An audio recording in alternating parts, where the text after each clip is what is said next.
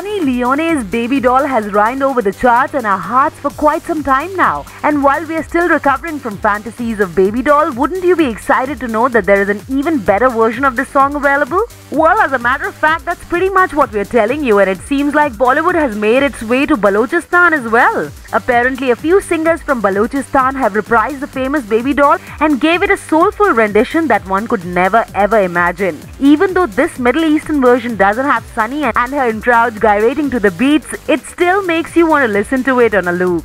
Check out this Balochi reprise of Baby Doll if you haven't already and let us know what you think.